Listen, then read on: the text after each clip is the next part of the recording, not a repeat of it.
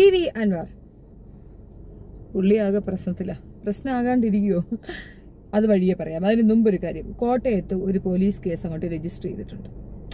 ഇപ്പൊ സ്വാഭാവികമായിട്ടും പറയും പാർട്ടിക്കെതിരെ നിന്ന് പാർട്ടിക്കാരാണ് കേസ് കൊടുത്ത പാർട്ടിയാണ് അവന്റെ പിന്നെ പാർട്ടി അവനെ ഒതുക്കുന്നത് ഒന്നുമില്ല കേട്ടോ ചുമ്മാ അവറ്റുള്ള പറയാൻ പോണ്ട.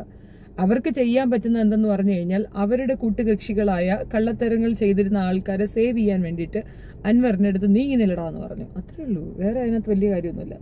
അപ്പം അയാൾക്കെതിരെ കേസ് കൊടുത്ത ആളുടെ പേരാണ് ഞാനിപ്പോൾ പറയാൻ പോകുന്നത്. പുള്ളി പാർട്ടിക്കാരനാണോ അല്ലയോ എന്നുള്ളതാണ് നമ്മുടെ വിഷയം. തോമസ് പീലിയാനിക്കൽ മുമ്പ് കോൺഗ്രസ്സുകാരനായിരുന്നു. പൊതുപ്രവർത്തകൻ എന്ന നിലയിൽ മാന്യത വിട്ടുള്ള പ്രവൃത്തിയാണ് അൻവർ ചെയ്തത്. അതെന്താ പൊതുപ്രവർത്തകൻ ഇത്ര മാന്യത പാടില്ലേ? എന്താണ് പുള്ളി കൊടുത്ത കേസ് എന്താന്ന് വെച്ചാൽ ഇദ്ദേഹം പന്ത്രണ്ട് വർഷം മുമ്പ് കോൺഗ്രസ്സുകാരനായിരുന്നു.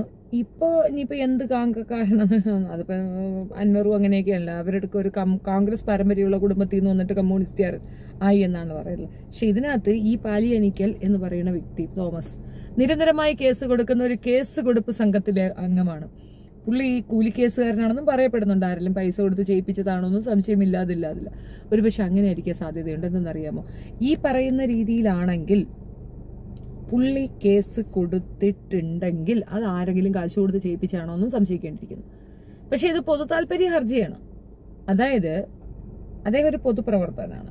അപ്പൊ പാടില്ലാത്ത കാര്യങ്ങൾ പൈസ കൊടുത്തുകൊണ്ട് ഫോൺ ടാപ്പിംഗ് പോലെ ഒരാളുടെ പെർമിഷൻ അല്ല ഒരാളുടെ ഫോൺ ചോർത്തുക എന്ന് പറയുന്നത് ഇല്ലീഗലാണ് ഇമ്മോറലാണ് സഹിക്കാൻ പറ്റുന്ന കേസല്ല. അപ്പോൾ ആ കാര്യം അത് നിലനിൽക്കും. പക്ഷേ അൻവറിന് സൂപ്പറായിട്ട് ഇറങ്ങി വരാൻ പറ്റും. ഈ കേസ് ഊരിയെടുക്കാൻ പറ്റുന്നതിന്റെ കാര്യം ഇയാൾ നിരന്തരമായ ഒരു പൊതുശല്യമായിട്ട് പ്രഖ്യാപിച്ചിരിക്കുകയാണ് ആര് തോമസിനെ. പൊതുശല്യം മീൻസ് എപ്പോഴും എവിടെയും വേണ്ടാത്തടത്തും ഒക്കെ കേസുകൾ കൊണ്ട് കൊടുക്കുകയാണ്. പക്ഷെ ഇങ്ങനെയുള്ള കുറച്ച് പേര് കാരണമാണ് നമ്മൾ നിലനിൽക്കുന്നത് എന്നുള്ളത് വാസ്തവം. കാരണം കൊടുക്കേണ്ട കേസുകളൊക്കെ കൊടുക്കണം. എല്ലാം കൊടുക്കുന്നുണ്ടോയെന്ന് ചോദിച്ചാൽ എനിക്കറിയത്തില്ല. ഏതായാലും അപ്പൊ പുള്ളിക്കെതിരെയുള്ള കേസ്. പൊതുപ്രവർത്തകൻ എന്ന നിലയിൽ പി വി അൻവർ ചെയ്തത് ഒരിക്കലും അംഗീകരിക്കാനാവാത്ത പ്രവൃത്തിയാണ്. ഫോൺ ചോർത്തുക എന്നത് ഒരു പൊതുപ്രവർത്തകന് ചേർന്ന പരിപാടിയല്ല പോയിന്റ് മറ്റൊരാളുടെ ഫോൺ ചോർത്തുക എന്നത് വളരെ ഗുരുതരമായ തെറ്റാണ്. പരാതി അതുകൊണ്ടാണ് കൊടുത്തതെന്നാണ് പുള്ളിക്കാരൻ പറയുന്നത്. എന്തായാലും ഇമെയിലിൽ കൂടെ പുള്ളി ആദ്യമേ തന്നെ ഇതിനെ പരാതി കൊടുത്തിരുന്നു. ഇപ്പോഴല്ല അത് ഓർത്തോണം ഈ മാസം അഞ്ചാം തീയതിയാണ് ഇമെയിൽ മുഖാന്തരം പോലീസ് മേധാവിക്ക് പരാതി നൽകിയത്. അപ്പൊ സംഗതി തുടങ്ങുമ്പോൾ തന്നെ കേസ് കൊടുത്തിട്ടുണ്ട്. അപ്പൊ ആ കൊടുത്തത് പാർട്ടിക്കാരാണോ എന്നുള്ള സംശയം ഒന്ന് മാറാൻ വേണ്ടിയിട്ടാണ് ഇനി നിങ്ങൾ തീരുമാനിക്കുക. ഏതായാലും പരാതി ശനിയാഴ്ചയാണ് ഡി ജി പി കോട്ടയം ജില്ലാ പോലീസ് മേധാവിക്കും കൈമാറിയത്. അപ്പോൾ ഈ പ്രശ്നമൊക്കെ കഴിഞ്ഞ് പാർട്ടി കൈവിട്ടു എന്ന് മനസ്സിലായപ്പോഴത്തേക്കാണ് ഇതെടുക്കാൻ തന്നെ തയ്യാറായി എന്നുള്ളതാണ് മനസ്സിലാക്കുന്നത്. ഇതിനേക്കാൾ വളരെ സീരിയസ് ആയ ഒരു പ്രശ്നം അൻവർ നേരിടാൻ പോവുകയാണ്. അൻവർ വിചാരിച്ച എന്താണെന്ന് അറിയാം. പി വി അൻവർ വിചാരിച്ച എല്ലാവരുടെ അടുത്തും കിടന്ന് കളിക്കുന്നതാണൊക്കെ ഇതേപോലുള്ള ആൾക്കാരുടെ അടുത്ത് കയറി കളിക്കാമെന്ന്. വിവാദങ്ങളിൽ അകപ്പെട്ട് അന്വേഷണം നേരുന്ന A D G P M R Ajith Kumar. ശത്രു സംഹാര പൂജ നടത്തിയിട്ടുണ്ട്. മനസ്സിലായില്ലേ? ശത്രു സംഹാര പൂജ നടത്തി. കേസ് വേറെ സ്ഥലത്ത് കൊടുത്തിട്ടുണ്ട്.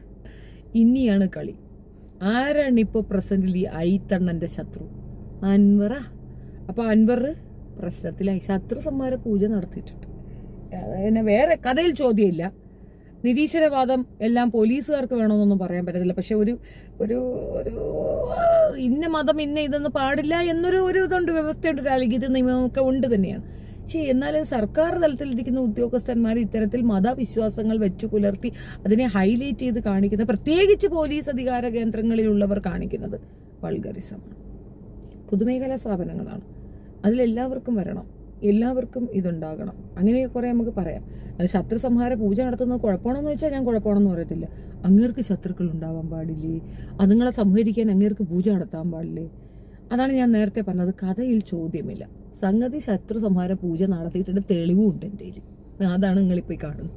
പുള്ളി നടത്തിയിട്ട് വരിക അങ്ങനെ ഏതായാലും ക്രമസമാധാന ചുലം ചുമതലയുള്ള എ ഡി ജി പി സത്രസംഹാര പൂജ നടത്തി എന്നുള്ളത് ഭയങ്കര ഫേമസ് ആണ്.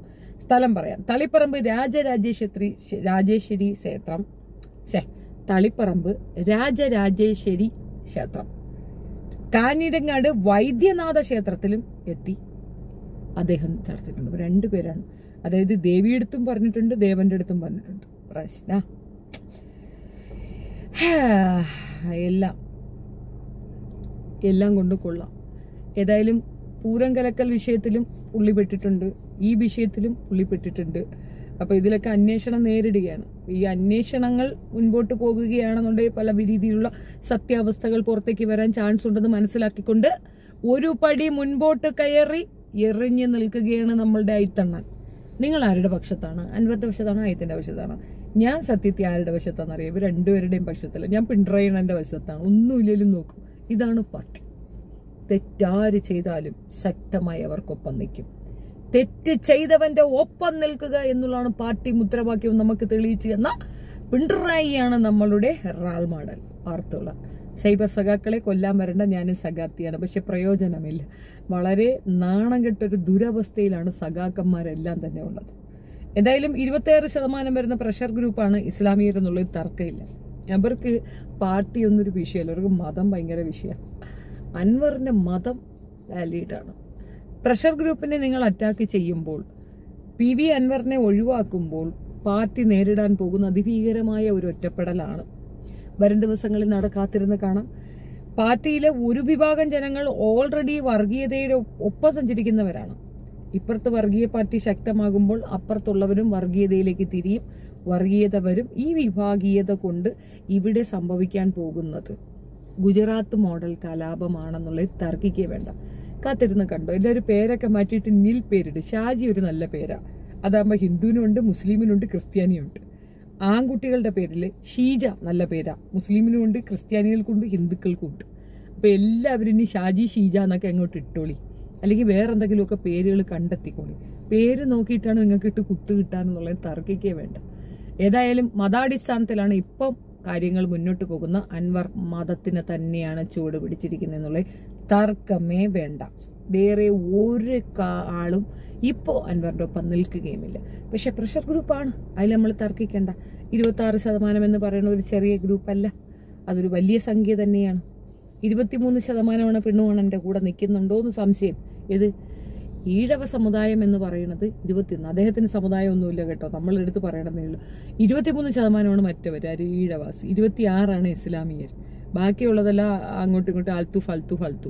അപ്പോൾ ആകെ മൊത്തത്തിൽ ഈ രണ്ട് ഗ്രൂപ്പുകൾ തമ്മിലുള്ള അതിഭീകരമായ തർക്കങ്ങളാണ് നമ്മൾ ഇനി വരും ദിവസങ്ങളിൽ കാണാനിരിക്കുന്നത്.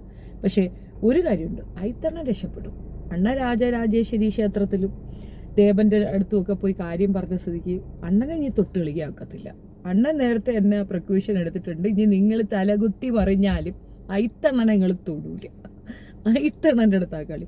കാര്യം ഇതുപോലൊരു കളി കളിച്ച് ഈ പൂജ ഇത്യാദി കർമ്മങ്ങൾ നടത്തിയതിന്റെ ആഫ്റ്റർ എഫക്റ്റ് ആണ്. നിങ്ങൾക്കൊന്ന് തൊടാൻ പറ്റിയ സസ്പെൻഷൻ പോലും ഇല്ല. ഒരു അലിഗേഷനൊക്കെ ഒരു പോലീസ് ഓഫീസർക്കെതിരെ വന്നു കഴിഞ്ഞാൽ സ്പോട്ടിൽ സസ്പെൻഡ് ചെയ്യും. പക്ഷെ അദ്ദേഹത്തിന് സസ്പെൻഷൻ പോലും ഇല്ല സിമ്പിളല്ലേ അങ്ങനെ വേണം. അതാണ്. അപ്പോൾ നിങ്ങൾ ഇനി മുതൽ ദൈവവിശ്വാസികളാകണം എന്നാണ് ഐത്തണ്ണം പറയുന്നത്. അല്ലെങ്കിൽ അതിന്റെ ഒരു സൂചനയാണ് തന്നത്. ഐത്തണ്ണന് അത് പോസിറ്റീവായ വൈബാണ് കൊടുക്കുന്നതെങ്കിൽ അങ്ങനെ. ഇപ്പുറത്തുള്ളതും അതിതീവ്രമായ മതവിശ്വാസി തന്നെയാണ് മതവിശ്വാസം ഉയർത്തിപ്പിടിച്ചാണ് പുള്ളിക്കാരൻ ബാക്കിയുള്ളവരെ കൂട്ടുപിടിക്കുന്നത്. രണ്ട് ടീമുകളുടെ കയ്യിലും അത്യാവശ്യത്തിൽ കൂടുതൽ പോരായ്മകളും കുഞ്ഞായ്മകളും ഉണ്ട്. പാർട്ടിക്കാരെ അങ്ങ് വിടുന്നതിന് എന്തോ വേണം. ഈ പാർട്ടി ആണ് ഇവരെ പ്രൊട്ടക്ട് ചെയ്യുന്നതെന്ന് പറയുന്നത്. പിണറായി വിജയനാണ് പ്രൊട്ടക്ട് ചെയ്യുന്നത്. പാർട്ടിയുടെ നിയമം അനുസരിച്ചിട്ട് ഈ കാണിക്കുന്ന രണ്ട് കൂട്ടരും പ്രശ്നക്കാർ തന്നെയാണ്.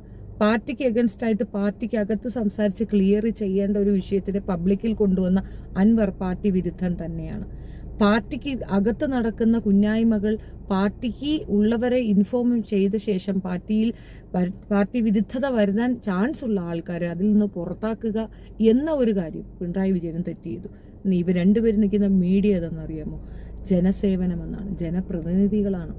അപ്പോൾ നമ്മളുടെ പ്രതിനിധികളാണ് കള്ളന്മാര് എന്നുള്ളൊരു തെളിവാണ് ഇതൊക്കെ പറയുന്നത്.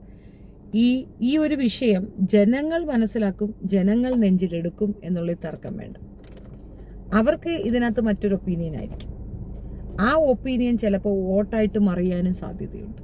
അന്ന് അന്ന് ഒരുപക്ഷെ നമ്മുടെ പിണറായി വിജയന് മനസ്സിലാകും തെറ്റുപറ്റിപ്പോയെന്ന്. അല്ല ഇനിയിപ്പം പാർട്ടി പറഞ്ഞിട്ട് കാര്യമില്ല. കേരളത്തിലെ അവസാനത്തെ കമ്മ്യൂണിസ്റ്റ് മുഖ്യമന്ത്രിയായിരുന്നു വെച്ചാൽ അദ്ദേഹം തന്നെയാണ്. ഇനി മറ്റൊരാൾ അതിനകത്ത് വരുമെന്ന് എനിക്കൊരു ഉറപ്പുമില്ല. ഈ ഭയങ്കര നാണക്കേടാണ് ഉണ്ടാക്കിയിരിക്കുന്നത്. എനിക്കറിയത്തില്ല ലീഗൽ അഡ്വൈസേഴ്സോ അല്ലെങ്കിൽ പേഴ്സണൽ സെക്രട്ടറിമാരെന്ന് പറയുന്നവരൊക്കെ തന്നെ വളരെ എന്താ പറയണേ മൗനം പാലിക്കുന്നതിന്റെ ആഫ്റ്റർ എഫക്റ്റാണ് ഇതൊക്കെ. വരും ദിവസങ്ങളിൽ കേരള രാഷ്ട്രീയത്തിൽ നടക്കുന്ന എന്താണെന്ന് കണ്ടടി കണ്ടു പറയേണ്ടിയിരിക്കുന്നു എന്ത് തന്നെ ആയാലും പാർട്ടിയല്ല കേസ് കൊടുത്തതെന്ന് മനസ്സിലാകുന്നുണ്ട്. തോമസ് ഇപ്പൊ ഈ കേസ് കൊടുത്തത് ഒരു ഒന്നുകിൽ അയാൾക്ക് കുറച്ചുകൂടെ എന്താ പറയണേ മീഡിയ അറ്റൻഷൻ അതായത് ആ ടൈപ്പ് ക്യാരക്ടർ ആയതുകൊണ്ട് പറയണം. അല്ല അച്ചാൽ അല്ലെങ്കിൽ പുള്ളി ഇത് ചെയ്യാനുള്ള കാരണം ആരോ നന്നായിട്ട് പുള്ളിയെ ബൂസ്റ്റപ്പ് ചെയ്ത് വിട്ടിട്ടുണ്ട്. അപ്പോൾ അത് എന്തായാലും പാർട്ടിക്കാരല്ല കാരണം പുള്ളി പാർട്ടി പാർട്ടിക്കാരനല്ല. അതുകൊണ്ട് തന്നെയാണ്. അപ്പൊ നിങ്ങളുടെ അഭിപ്രായം എന്താണെന്ന് വെച്ചാൽ നിങ്ങൾ കമന്റ് ചെയ്യുക. നിങ്ങൾ അൻവറിനൊപ്പമാണെങ്കിൽ അൻവറിനൊപ്പം എന്ന് പറയുക. ഞാൻ നേരത്തെ പറഞ്ഞാണെങ്കിൽ ഞാൻ ഈ രണ്ടുപേരുടെ കൂടെ ഞാൻ പിണറായി വിജയന്റെ കൂടെയാണ്. അദ്ദേഹമാണ് നമ്മളുടെ റോൾ മോഡൽ അദ്ദേഹമാണ് നമ്മളുടെ കീ മണ്ടറേക്കാണ് നമ്മുടെ കയറി അപ്പത്തൊട്ട് തുടങ്ങിയ ശനിദശയാണ് പ്രളയം വന്ന് കൊറോണ വന്ന് നിപ്പ വന്ന് ഒരു എച്ചയില്ല എന്നാലും ഇറങ്ങി പോവില്ല. അഞ്ചു കൊല്ലത്തിൽ കൂടുതൽ ആരെയും വെക്കേണ്ട എന്നുള്ളതാണ് ഇപ്പം ഇപ്പോഴത്തെ നല്ല തീരുമാനം എന്ന് പറയുന്നത്. ഈ കുരിശ് ഇറക്കി ആ കുരിശ് കയറ്റുന്ന ഒരു തർക്കമില്ല ഒന്നും വിഷമിക്കേണ്ട. അതാണ് നല്ലത്. ഈ കുരിശിനേക്കാൾ നല്ലത് ആ കുരിശാണെന്ന് തെറ്റിദ്ധരിക്കാതിരുന്നാൽ മതി. ഈ കുരിശ് അഞ്ച് വർഷത്തേക്ക് നിൽക്കുന്നു. അടുത്ത അഞ്ച് വർഷത്തേക്ക് ആ കുരിശിനെ എടുത്തു വെക്കുന്നു മാറി ചിന്തിക്കട്ടെ. സ്വതന്ത്രനായി നിൽക്കുമെന്നാണ് നമ്മളെ പ്രതീക്ഷ ആര്? പി. വി. അൻവർ. ഏയ് ചാൻസ് വളരെ കുറവാണ്. പുതിയ പാർട്ടി ഉണ്ടാക്കുമെന്നും പറയുന്നുണ്ട്. എന്ത് തന്നെ ആയിരുന്നാലും ശക്തനായ ഒരാളാണെന്നുള്ള ഒരു ധാരണ പൊതുസമൂഹത്തിന് കൊടുത്തിട്ടുണ്ട്. തെറ്റിദ്ധാരണയാണോ അല്ലെന്ന് വരെ ദിവസങ്ങളിൽ നമുക്കറിയാൻ പറ്റും. ഈ ധാരണയുടെ അടിസ്ഥാനത്തിൽ മിക്കവാറും മറ്റ് ടീംസ് എല്ലാം പോയി ഇങ്ങനെ പിന്നാലെ അണിനിരക്കാനാണ് ചാൻസ് യൂത്തിനെയാണ് അയാൾ കോൺസെൻട്രേറ്റ് ചെയ്യുന്നത്. നമ്മൾ ഒരാൾക്കെതിരെ ഒരു ഒരാളെ ശത്രുവായി കണ്ട് അയാൾക്കെതിരെ പടപൊരുതുമ്പോൾ നമ്മൾക്ക് ഫേസ് ചെയ്യേണ്ടി വരുന്നത് സ്വന്തം ആൾക്കാരെ തന്നെയാണെന്നുണ്ടെങ്കിൽ അതൊരു നിസ്സാര പോരാട്ടമല്ല. ഭീകരമായൊരു പോരാട്ടം തന്നെയാണ്. അതിനെ ഞാൻ ലൈറ്റായി കാണുന്നതുമല്ല കളിയാക്കുന്നതുമല്ല. ബട്ട് അതിനുള്ള സമയമായോ ഇല്ലയോ എന്ന് അൻവർ ഒന്ന് ചിന്തിക്കേണ്ടിയിരുന്നു. എനിവേ ഹാപ്പൻ ഈസ് ഹാപ്പൻ ഒറ്റയാൾ പോരാട്ടമാണ് സപ്പോർട്ടിന് ഈ പൊതുസമൂഹ സോഷ്യൽ സമൂഹം ഒന്ന് ഒന്നടക്കം സപ്പോർട്ട് ചെയ്യുമെന്ന് തന്നെ പ്രതീക്ഷിക്കാം. പക്ഷെ ഒരു കാര്യമുണ്ട് ഇവിടെ മറ്റൊരു രീതിയിൽ ഇതിനെ കൊണ്ടുപോകാതിരുന്നാൽ അത് വലിയ ഉപകാരമായിരിക്കും. അല്ലെങ്കിൽ നമ്മളുടെ ചെറിയ മൈന്യൂട്ട് മിസ്റ്റേക്ക് ഇപ്പം സപ്പോർട്ടീവായി നിൽക്കുന്ന അത് ഞാൻ കുറച്ചുകൂടെ വിശദമായി പറഞ്ഞുതരാം അതെങ്ങനെയാണെന്ന്. ആഹ് ഈ ഞാൻ എന്റെ ഒരു എക്സ്പ്ലനേഷൻ പറയുമ്പോൾ മനസ്സിലാകും. ഇപ്പോൾ എനിക്ക് എനിക്ക് ഏർപ്പെട്ട ഒരു പ്രോബ്ലം ഞാൻ ദുബായിലായിരുന്ന സമയത്ത് ഒത്തിരി പേർക്ക് ഈ ജയിലുകളിൽ നിന്ന് മോചനം അതിന്റെ ഒരു ബിഹേവിയർ നമ്മൾ കുറേ വർക്കൗട്ട് ചെയ്യുന്നുണ്ട്. അതിലൊന്നിലാണ് ഒരു നിരീശ്വരവാദി അവിടെ പെട്ടു. നിരീശ്വരവാദിയാണോ യുക്തിവാദിയാണോ ഇനി അല്ല വേറെ എന്തെങ്കിലും സാധനമാണോ എന്നൊന്നും എനിക്കറിയത്തില്ല. അവിടെ പെട്ടു. ഈ നിരീശ്വരവാദിയായാലും യുക്തിവാദിയായാലും പുള്ളിയുടെ വിഷയം ഒരു ഇന്ത്യൻ പൗരന്റെ അഭിപ്രായ സ്വാതന്ത്ര്യമാണ് പുള്ളി പ്രകടിപ്പിച്ചത്. ഇതിന്റെ അടിസ്ഥാനത്തിൽ പുള്ളി അവിടെ ജയിലിൽ പിടിച്ചിട്ടു. മിക്കവാറും കൊന്നുകളയാനും ചാൻസ് ഉണ്ട്. അത് അതങ്ങനെയാണ് മതരാഷ്ട്രമാണല്ലോ. അപ്പം മതവിരുദ്ധനായ ഒരുത്തനെ അവിടെ കൊന്നുകളയുക എന്നുള്ളത് സ്വാഭാവികമായിട്ടുള്ള ഒരു കാര്യമാണ്. അപ്പം അതങ്ങനെ സംഭവിക്കാൻ ചാൻസ് ഉള്ളത് കൊണ്ട് നമ്മൾ അതിനകത്ത് ഇടപെടുന്നു. ഒരുപാട് പേരുമായി നമ്മുടെ ഇടപഴകി നിൽക്കുന്ന ഒരു ഘട്ടമുണ്ട്. മതത്തിനെതിരെയല്ല മതം മതത്തിലുള്ള ചെറിയ കുനിഷ്ടുകൾ നമ്മൾ പറയും എന്നതിനപ്പുറം നമ്മളതുമായിട്ട് തെറ്റലൊന്നും ഉണ്ടായിരുന്നില്ല. പക്ഷേ ഭീകരമായി എന്നെ ആക്രമിക്കുന്ന ഒരു രീതി ഉണ്ടായിരുന്നു അതിനെതിരെ എന്റെ റിയാക്ഷനും അതേ ടൈമിൽ വന്നു. അപ്പോൾ സംഭവിച്ചെന്തെന്ന് പറഞ്ഞാൽ തേർഡ് പേഴ്സൺ അത് ഹാൻഡിൽ ചെയ്യാൻ നോക്കി. അതായത് സംഖ്യകൾ അത് ആയുധമാക്കാൻ നോക്കുന്നു എന്ന് കണ്ടപ്പോഴാണ് ഞാൻ സ്റ്റെപ്പ് ബാക്ക് ചെയ്തത്. മറ്റൊന്നും കൊണ്ടല്ല. എന്റെ ഒരു ആശയത്തിന് നേർ വിപരീതമായിട്ട് തന്നെയാണ് കാര്യങ്ങൾ നടക്കുന്നത്. പക്ഷേ നമ്മളത് പറയാനുള്ള സമയമായിട്ടില്ല. അത് മറ്റൊരാൾക്ക് കൊടുക്കുന്ന വടിയാണ് എന്നെനിക്ക് തോന്നി. എൻഡ് ഓഫ് ദ ഡേ എന്റെ വിഭാഗക്കാർ തന്നെ ആക്രമിക്കപ്പെടാം. ഓൾറെഡി അപരവൽക്കരണം ഏർപ്പെടുത്തി നിൽക്കുന്ന ഒരു പ്രത്യേക വിഭാഗത്തിന് വീണ്ടും തല്ലാനായിട്ടുള്ള കമ്പ് ഞാൻ തന്നെ വെട്ടിക്കൊടുക്കണ്ടെന്ന് എനിക്ക് തോന്നിയത് കൊണ്ടാണ് ഞാൻ മൗനമായത്. ആ ഈ ഒരു വിഷയം തന്നെയാണ് ഇതിനെ റിലേറ്റ് ചെയ്യാൻ പറ്റിയ ഏറ്റവും ഒരു കാര്യം. ഇപ്പോൾ ഈ സാഹചര്യത്തിൽ തനിക്ക് ജയിക്കാൻ വേണ്ടിയിട്ട് ഒരു വിഭാഗത്തിനെ അപ്പുറത്തേക്ക് നീക്കി നിർത്തുന്ന ഒരു രീതി ഉണ്ടല്ലോ. അത് അത് മൂലമുണ്ടാകുന്നത് തേർഡ് പേഴ്സണ് സ്കോർ ചെയ്യാനുള്ള വടിയായി നിന്ന് കൊടുക്കുന്നതായിട്ടാണ് എനിക്ക് ഫീൽ ചെയ്തത്. പേഴ്സണൽ ഒപ്പീനിയനാണ് നിങ്ങളുടെ അഭിപ്രായം കമന്റ് ചെയ്യുക. Thank so much